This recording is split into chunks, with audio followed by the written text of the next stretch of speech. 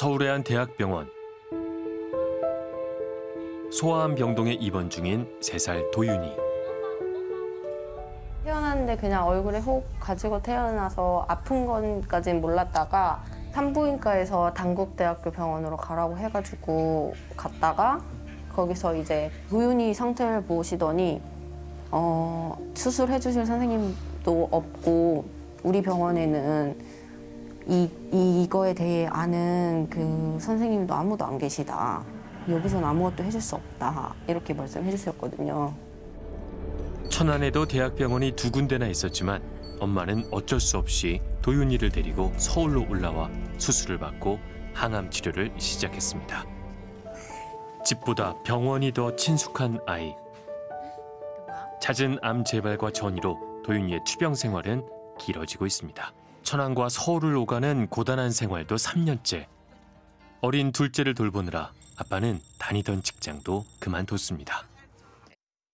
여기로 아예 이사를 오자 하자니 방도 쉽게 구해지지도 않았고 어, 월세를 내자고 하기에는 또 남편이 일도 그만두고 얘만 보고 있는데 내 가족이서 월세방에서 살 수는 없으니까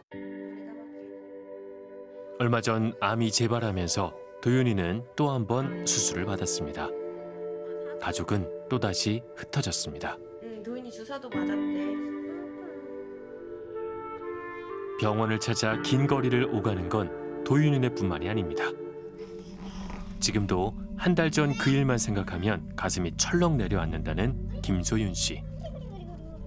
그때 저희가 여기였어요. 여기 집에서 애기랑 놀고 있는데 갑자기 얼굴이 엄청 빨개지더라고요. 근데 처음에는 애기가 기침만 하길래 어 얘가 추운가 해서 그냥 감기로 생각을 하고 있었는데 갑자기 기침이 심해지면서 숨을 못 쉬더라고요.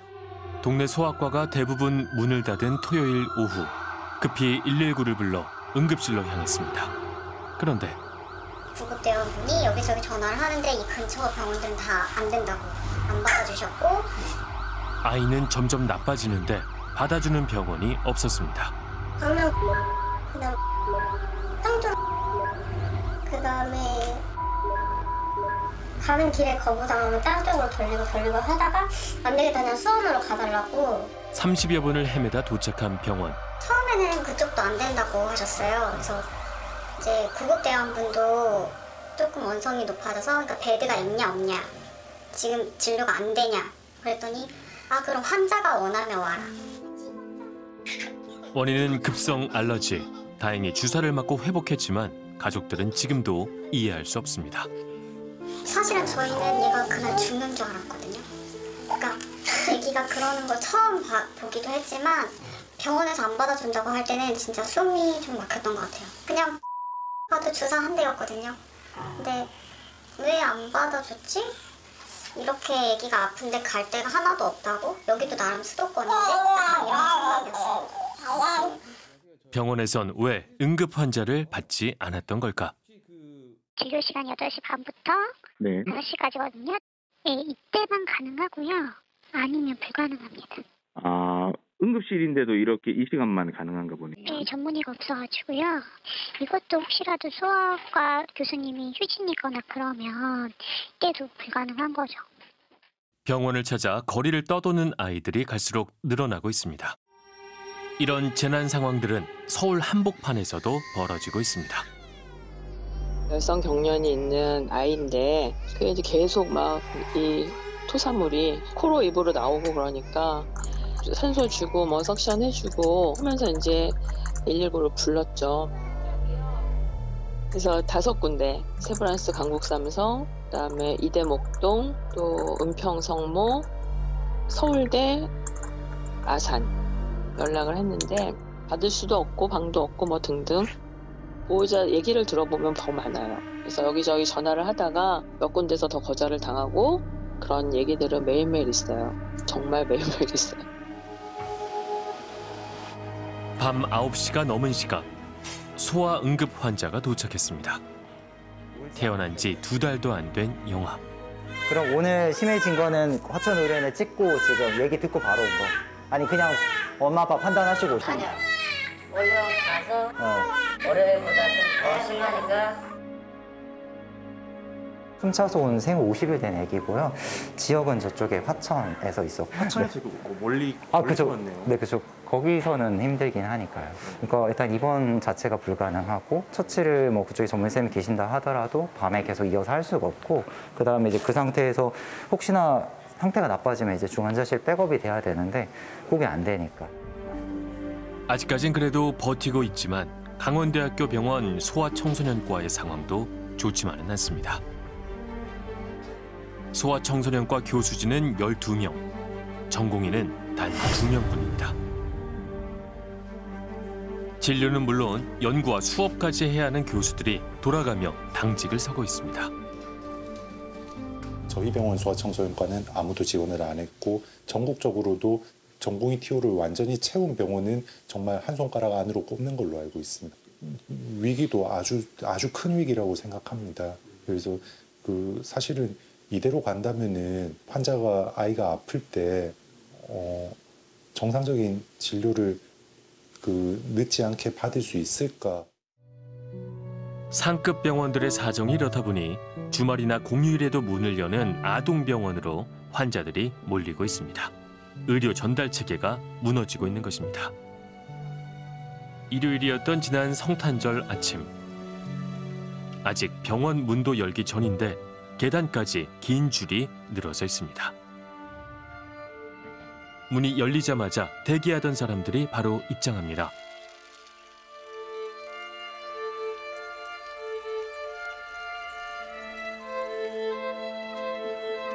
할인 기간 백화점에서나 보던 진 풍경이 요즘 아동병원에서 아침마다 펼쳐지고 있습니다.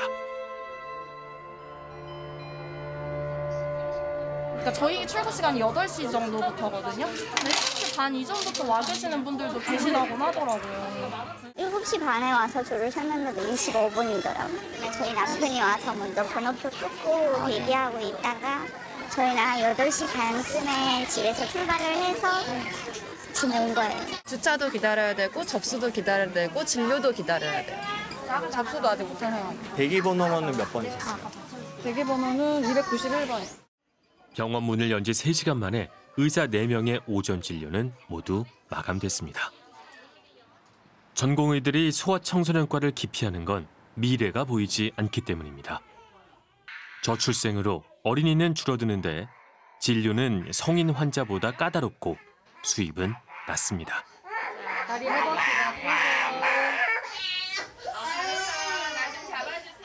예방접종을 위해 내원한 아기.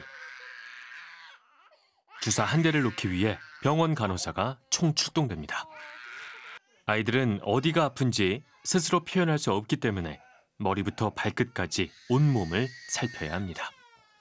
이제 귀지를 아기들 병원에 가면 귀지를 뽑아주는데 이비인후과 이렇게 소아과에서도 귀, 코, 목 다 보니까 어, 열나서 오면은 귀도 보고 목도 보고 해야 되니까 귀지 귀지 막고 있으면 귀지도 뽑아주고 해야 된단 말이에요. 근데 그거는 따로 돈을 받을 수가 없는데 이비인후과는 귀에서 귀지를 뽑는 것도 이비인후과 전문의가 시술을 하는 거기 때문에 거기에 대한 수가가 따로 측정이 되거든요. 그러면 그만큼 소아과 의사는 수익이 적은 거예요. 그나마 환자를 많이 보는 것으로 소아과 운영을 이어왔던 개원이들은 코로나19 사태가 터지면서 직격탄을 맞았습니다. 그냥 하루 종일 25명 봤네요. 우리 선생님 중에 익명 게시판에 지난달 한 달 그 집에 가져간 수입이 25만 원에 불과했다. 그걸 댓글에 아 선생님은 그래도 어 이게 그 적자는 면하셨네요. 저는 이게 계속 몇 달째 적자인데 언제까지 이거 버틸 수 있을지 모르겠습니다. 이거 건물 계약만 끝나면 그만둬야 될지도 모르겠네요. 이런 취지의 뭐 댓글이 굉장히 많이 붙었었고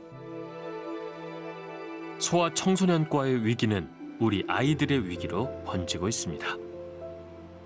지난 12월 보건복지부는 소아 청소년과를 비롯한 필수 의료 분야 지원 대책을 발표했습니다. 이 전문진료센터를 운영하는 중에 발생한 손실에 대해서 차등 보상을 통해서 사후 지급하는 이런 필수 의료 체계를 유지할, 유지하는 것이고요. 정부는 어린이 공공 전문 진료센터의 손실을 사후 보상하겠다고 밝혔습니다. 의사들의 반발로 논의가 중단됐었던 의대 정원 확대 계획도 다시 추진됩니다. 하지만 당장의 의료 공백을 메우기엔 충분치 않다는 지적도 있습니다. 인력 배치 면에 있어서는 의대 정원 확대부터 시장에 나올 때까지 적어도 12년 소요. 12년 후에 우리나라 의료 환경이 어떻게 될 거냐, 인구 구조가 어떻게 바뀔 거냐, 이거 종합적으로 봐야 되는 거거든요. 그러니까 특히 의료 서비스는 자칫 공급자를 양산해 놓으면 또 비용을 유발하는 그런 문제가 발생하거든요. 신속한 대책을 요구하는 목소리가 높습니다. 예, 추가적으로 이번 뭐 대책 발표가 끝이 아니라 이런 건 좀 단기적으로 좀 다 해결할 수 있는 문제들은 아니어서 필수 의료 부분에 대해서 좀 확충할 수 있는 방안들을 좀 이렇게 중장기적으로도 좀 계속 예, 그 이렇게 과제도 발굴하고 지금 이행은 잘 되고 있는지 이런 부분들도 계속 지속적으로 좀 볼 예정이에요. 우리에겐 주어진 시간이 얼마 없습니다. 골든타임 지났습니다. 예. 저희가 회복할 수 있는 타임을 골든타임이라고 본다면 지났고요. 갑자기 붕괴되고 아무것도 못하는 서든데스. 우리가 이제 극장골이라고 하잖아요. 게임 끝나잖아요. 그 상황이 온다고. 골든타임은 이미 지났고 지금 빨리 서두르지 않으면 서든데스를 직면한다. 백혈병 같은 경우에는 거의 완치율이 많이 높다고 하더라고요. 그래서 어, 내 이렇게 완치율이 높은데 왜 나는 의사가 없어서 이렇게 멀리까지 와서 치료를 받아야 되지? 태어난 아이들 잘 클 수 있게 지원을 해줘야 되는데 아기만 많이 낳으라고 해놓고 아기 잘 키울 수 있는 방법이 많이 없으니까 아프지 않은 아이들만 사회 구성원이 될 수 있게 만들어 놓은 시스템 같아가지고 좀 안타까워요. 우선을 이어서 가문을 일으켜야지. 나 행복한 게 끝이야 나는. 돈이 없는데 어떻게 결혼해? 우리나라 인구 문제 다 중심에는 청년이 있습니다. 때려 나오면 제 인생이 끝난다고 생각해요. 우리 사회가 그렇게 만들었잖아요. 나라가 위기니까 아이가 더 낳아야 된다. 풍지가 없는데 세계를 어떻게 치냐고. 20대의 청년을 빨아들여서 30대에 뱉어내는 도시입니다. 서울이 문제다. 기온을 쭉쭉 막아야겠다. 안동시 서우면의 간제 종택. 조선 중기의 유학자 간제 변중일의 종택입니다. 섣달 금음날 도시에 나가 사는 아들 형제가 설을 쇠러 왔습니다. 묵은 세배를 받은 뒤 아버지가 덕담을 합니다. 열심히 저 잘 하고 있는 모습 보기 좋고 그래. 내년에는 이제 뭐 좋은 꿈 이룰 수 있는 좋은 배필 만나서 결혼할 수 있는 꿈을 꾸고 열심히 하겠다는 말 말고는 드릴 말씀이 없네요. 열심히 하겠습니다. 그 있잖아 그 저 장가 가서 새로운 가정을 이- 이루어서 그저 문중의 대를 이어서 계속 길이 길이 이 가문을 보존하겠다 그리고 또 큰 결심 아니야 큰 결심 하겠습니다. 음 그렇지 그렇지 덕담이 덕담에서 그치지 않습니다. 그도 그럴 것이 두 아들은 모두 30대 중반. 그런데 여전히 미혼입니다. 집도 문제고 여러 가지 어려운 경제적인 여건이 많아가지고 좀 힘들긴 한데 그래도 또, 또 우리 아들들은 이제 그걸 좀 극복해내고 좀 앞으로 좀 열심히 잘 살아줬으면 하는 게 엄마의 마음이야. 그냥 살아가기가 힘이 들어가지고 결혼이나 뭐 출산을 1순위로 두지 않으니까 집 문제나 이런 게 너무 크니까 뭐 결혼이 자꾸 뒤로 밀리는 것 같아요. 우리 때도 지금 처음에 살 수가 없었지 단칸방에 들어가서 시작해서 조금씩 조금씩 저축해서 모아서 들어가서 이제 나중에 아파트를 조그마한 걸 열, 17평, 21평, 뭐 33평 이렇게 늘려나가는 거지 처음부터 그렇게 주거 조건이 좋았던 건 아닌데 근데 옛날보다 분명히 잘 사는 건 분명한 거거든 그래서 그런 부분들은 너무 걱정하지 말고 세배 드리는 자리에서 열띤 토론이 벌어집니다. 부모님 마음을 모를 리 없지만 아들은 아버지와 생각이 조금 다릅니다. 저는 결혼이나 아이를 낳는 거에 대해서 그렇게 큰 이런 이게 왜 그렇게 굳이 강요받는 이런 게 필요, 전혀 아니야. 필요 없다 생각해요. 음. 저는 뭐 내가 낳고 싶으면 애가 낳아도 되고 결혼해도 되고 근데 굳이 뭐 할 필요도 없다라는 게 저는 제 생각이. 빨리 고쳐야 돼 그거를. 왜, 왜, 후손, 후손을 이어서 가문을 일으켜야지. 그러니까 애를 왜 낳아야 되지? 저는 걔 그렇게까지 이런 뭐 국가와 뭐 가문 이런 것까지는 생각 없어요. 전 저 하나 건사하기가 힘들기 때문에 왜? 나 행복한 게 끝이야 나는 아, 솔직히 요즘 이제 MZ 나는 결혼 좀- 안 해도 돼. 애도 안 낳아도 돼 나는. 나도 그런 거 같아. 난 굳이 뭐 지금 저- 이런 조바심도 하나도 없어 나는 지금 정말 나이가 음. 33이지만 결혼을 해야겠다 이런 거 하나도 없고 아직 내 이거, 된다 그런 거 그냥. 아니, 돈이 없는데 어떻게 여기서- 결혼해? 돈이 없는데. 돈하고는 관계 없고. 돈하고 그게 왜 관계가 없어? 결혼하면 뭔 돈이 필요해 사랑하면 되지. 이게 안 하시는 이유를 좀 천천히 들어볼까요? 어, 예. 뭐 아니 아니라 뭐 좋은 사람이 생겨서 가면 좋겠다는 생각이고요. 뭐 안 간다는 건 아니고 사실은 뭐 요즘 시대에 근데 이제 사람들이 좀 결혼이 늦다 보니까 뭐 아무래도 내가 제가 느낀 늦은 것 같기도 하면서 아직 괜찮은 것 같기도 한 상태인 것 같습니다. 물론 저도 결혼을 하고 싶고 제 아이가 있으면 좋겠지만은 제가 감당해야 될 게 너무 많아진다고 생각을 하거든요. 저는 지금 저 하나 조금 건사하기가 힘들어서 이렇게 살고 있는데 내가 과연 이렇게 결혼을 하고 아기를 낳고 이러면 진짜 이렇게 잘 살 수 있을까라는 걱정이 조금 제 개인적으로는 커가지고 그런 부분에서 조금 네, 결혼에 대해서 조금 망설여지는 부분이 있습니다. 김용주 씨는 서울에서 대학을 나와 서울에서 일하고 있습니다. 저는 88년생 김종주이고요. 거의 20살 때부터 고등학교 졸업하고 어, 수도권 서울 쪽 올라와서 계속 살고 있는 사람입니다. IT 회사에서 농구와 관련된 전략 분석 프로그램을 개발 중인 용주 씨. 일에 전념하느라 결혼은 꿈꾸지 못했다고 합니다. 요즘에는 또 제가 연봉도 줄고 하니까 아, 아 연애 안 할 수도 있겠다 그런 생각이 들긴 하더라고요 진짜로 너 정말 좋고 너랑 평생 살면 좋- 행복할 것 같은데 어, 니- 우리가 돈이 없어가지고 결혼을 못 할 것 같아. 이런 얘기 들으면 되게 슬플 것 같긴 해요. 그게 두렵기도 하네요 지금 생각해 보니까. 현재 월세방에 산다는 용주 씨. 집을 구하고 가정을 이루기엔 갈 길이 멀다고 합니다. 이제 자녀를 안 낳는다고 치면은 이제 다 그게 돈이니까. 어, 그 요즘에 또 막 애기들 영어 유치원은 할아버지가 보내준다 막 이런 말도 있더라고요. 어, 그런 거 들어보면 다 최소 뭐 경제적으로 좀 여유가 있는 사람들이 출산을 하는 게 아닌가 네. 자녀를 낳았다는 것 자체가 중산층이다 네, 전 요새 그런 생각이 많이 들더라고요 어, 지방에 있는 친구들은 꽤 많이 했는데 서울이나 경기권에 간 친구들은 많이 안 했는데 한20% 정도밖에 결혼 안 했어요. 나머지 한 80%는 결혼 안 했다. 아무래도 그렇죠. 뭐 요새 막 말이 많잖아요. 둥지가 없는데 새끼를 어떻게 치냐고. 나, 나 혼자 살기 솔직히 조금 빡빡하니까. 어, 그, 거기다가 뭐 일단은 결혼이라는 허들을 넘으려면 여러 가지 조건들이 부합이 돼야 되는데 부합할 수 있을까라는 고민을 먼저 하는 게 좀 그게 큰 문제인 것 같고 그냥 부딪혀 봐야 되는데 그 부딪힐 용기가 없는 거죠. 결혼을 확인한 37명 중 수도권 거주자는 8명에 불과합니다. 팍팍한 서울 생활이 걸림돌이 된 것으로 추정됩니다. 일자리를 찾아 서울에 갔던 여고 동창생들이 고향에서 다시 만났습니다.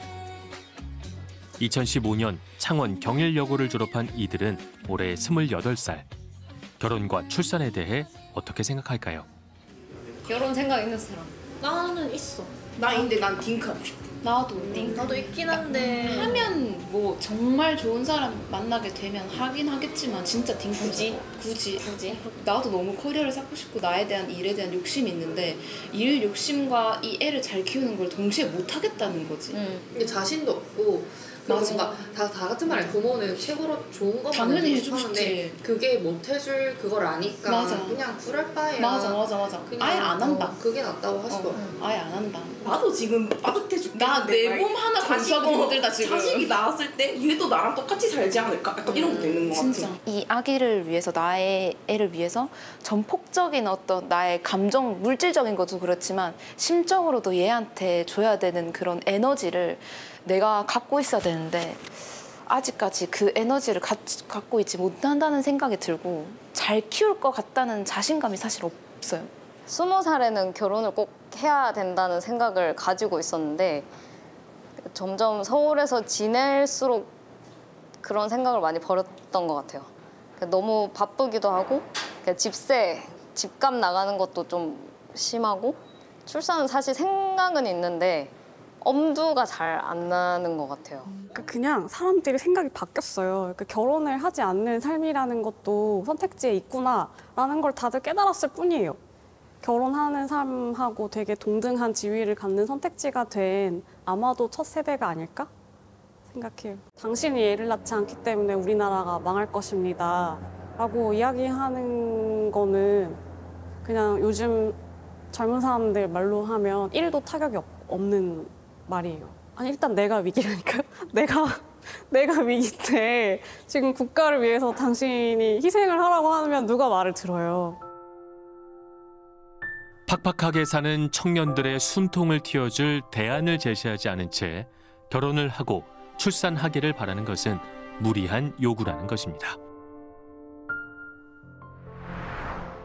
세계적으로 유례 없는 급격한 출산율 저하로 인구 절벽 위기를 맞은 한국. 그래서 더욱 청년 세대에게 희망과 비전을 줄 현실적인 방안을 마련하는 것이 시급합니다.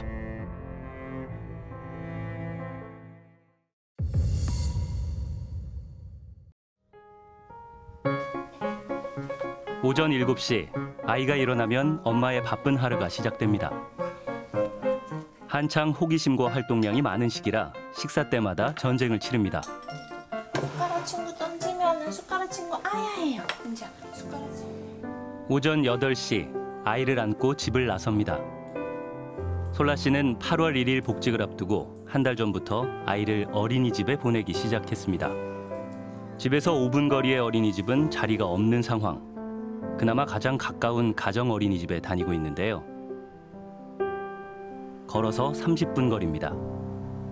지난주까지는 울었는데 이번 주 어제부터 이제 들어갈 때 안 울더라고요. 어린이집 문 닫을 때도 우는 소리가 계속 들려가지고 이 경비 아저씨가 위로해 주신 적도 있거든요. 지금도 좀 그때 생각하면 좀 마음이 아픈 것 같아요.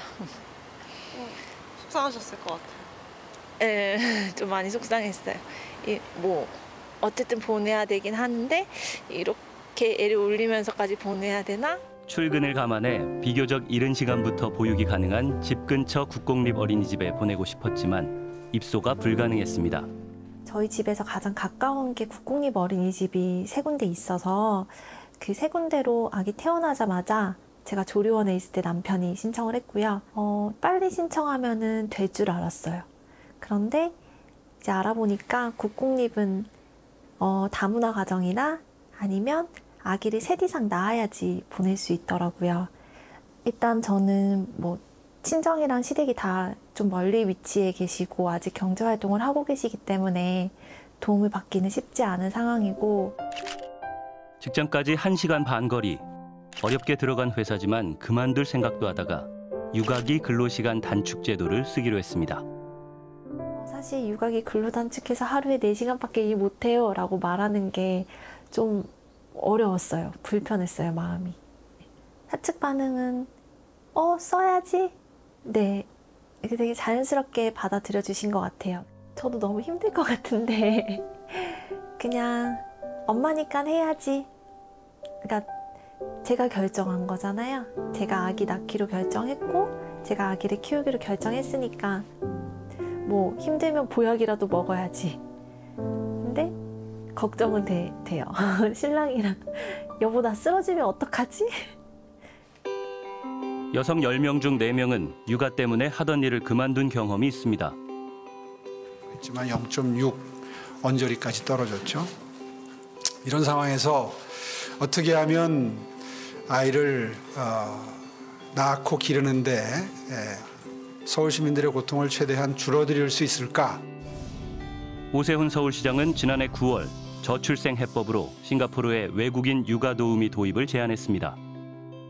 근데 제가 세계은행을 포함해서 해외에서 한 20년 정도 글로벌 떠돌이로 살면서 여러 나라에서 외국인 가사 도우미를 고용해 봤고 저희 아이들과 같이 육아를 했는데 그때 벌어 그때 기억이 생각이 났고 가사 도우미 쓰면 되지 뭐 그거 갖고 일자리를 그만둬 이런 정도 사회가 됐으면 좋겠다 중장기적으로 출산율 향상에 도움이 될 건 확실하고 법안 발의 두 달 뒤 윤석열 대통령은 저출생 대책으로 홍콩과 싱가포르에서 운영 중인 외국인 가사 도우미 도입을 적극적으로 검토하라고 지시했습니다. 어느 정도 부작용을 감내하면서라도 우리는 이 정책을 해야 될 절박한 상황에 우리나라가 있다고 생각합니다. 아닌가요? 지금 뭐 소멸 직전이지 않습니까? 도대체 이 제도에서 누가 손해를 볼까요? 전 이해할 수가 없습니다. 누가 손해를 볼까요? 이렇게 손해 없이 정책을 만들기도 어려운데. 오세훈 시장의 말처럼 100만 원 정도의 외국인 가사 노동자를 고용할 수 있다면 아이를 맡길까요? 한창 손이 많이 가는 시기에 아이 엄마들에게 물어봤습니다. 외국인 가사 도우미 제도가 도입되면 고용하고 싶으신 어머니 계실까요? 한번 손 들어주시겠어요? 다들 생각이 없으세요? 딴 것도 아니고 아이를 키우는 거잖아요. 그래서 저는 별로 신뢰하진 않아요.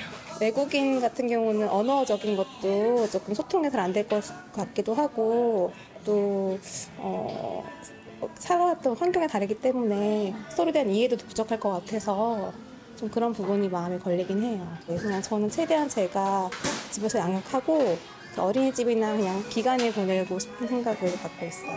어린이집 같은 보육기관이 더 안전하다는 답변입니다. 100만 원이냐 200만 원이냐 비용과 상관없이 외국인 가사노동자 제도에 회의적이었습니다. 계획이 없는 상황에서 만약 아이를 낳게 되었고 어쩔 수 없이 뭔가 일을 하게 된다면 어, 그런 부분을 고려해 볼 수도 있지만 그것 때문에 내가 아이를 낳을 수 있다 이런 건 좀 아닌 것 같아요. 어, 네, 저 그거 너무 소름 돋아서. 어떤 면에 소름 또 착취잖아요. 또 착취잖아요. 여기서 더 저임금을 쓰겠다라는 사고 방식 자체가 너무 무서웠고요. 그러니까 일단은 여러 가지 측면이 있는 거니까 저는 일단 돌봄 가치도 되게 낮게 보고 있다라는 생각도 들었고 그게 외국에서 사람을 데려온다고 해서 해결될 문제는 아닌 것 같아요. 외국계 기업에 다니는 근혜 씨는 입주 가사 노동자를 고용해 평일에 함께 지내고 있습니다. 생후 5개월 된 둘째 아이에 대한 양육 부담도 덜었습니다. 지금 기준으로는 이제 그 중국 분들 같은 경우에는 한 200 후반대 또는 300 그리고 어, 한국 분들 같은 경우에는 350도 훨씬 넘게 드리는 게 평균인 것 같습니다. 외국인 가사 노동자 제도에는 찬성하지만 저임금은 반대한다는 입장입니다. 그로 인한 부작용이 걱정되기 때문입니다. 타지에 와서 또 생활을 하는 생활비도 있을 것 같고 그러면 또 너무 싱가폴과 동일한 기준으로 보는 건 어렵지 않을까. 만약에 어, babysitting 업무만 너무 싼 가격에 저희가 공급을 받을 수 있는 경우에는 그분들이 한국에 그러니까 babysitting을 하기, 오, 하기 위해서 오셨다가 다른 잡을 찾아서 가시는 리스크도 있긴 할 것 같아요. 아이를 낳고 싶어도 잘 키울 수 있는 환경이 아니라서 못 낳는다는 목소리에 귀를 기울여야 할 때입니다. 지금 계기판에는 여러 지금 신호, 지금 이 자동차가 주행이 제대로 안 되고 있다는 문제 신호가 지금 여러 개가 다 뜨고 있는데 계속 연료만 들이붓고 있는 상황이 아닌가. 양육비에만 포커스를 맞추는 건 꼭 그런 상황이 아닌가 싶습니다. 둘째를 지금 낳, 낳아서 키우고 싶거든요. 그런데도 불구하고 계속 망설이는 이유가 아이를 낳아서 부모의 손으로 잘 키울 수 있는 그런 여건이 잘 마련이 되지 않았다는 느낌을 많이 받는 상황입니다. 환경은 제대로 만들어지지 않았는데 낳으라고만 강요를 하면 누가 많이 낳겠습니까?